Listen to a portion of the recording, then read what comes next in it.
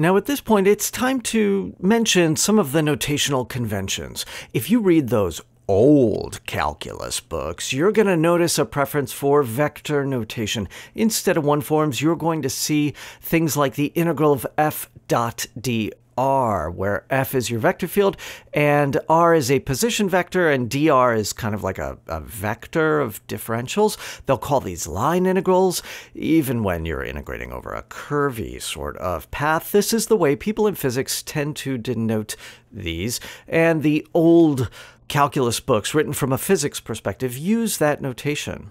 In contrast, we're going to predominantly use the notation of one forms. This is the way that mathematicians tend to denote things, tend to think about things. Now, they're equivalent, and no one notation is necessarily better than the other. The old fashioned vector notation is perfectly fine for doing integrals, for getting answers.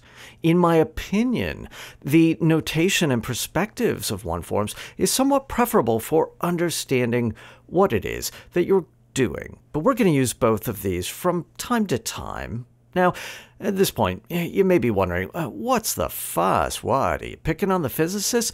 No, we're all friends here. But one forms are great because they are generalizable. This is just the beginning of what we're going to see when we climb to the top of it all. If you stay on this path, you will see how far we go.